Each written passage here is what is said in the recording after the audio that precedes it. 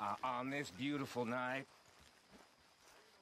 will you dance with me, Miss Mary Beth? No, I will not. You're. I got two left feet.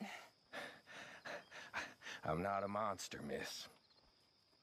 No, of course you're not. You're not that interesting. Very funny.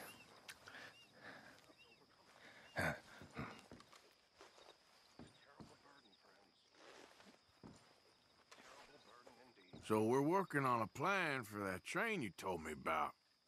Oh, I was wondering about that.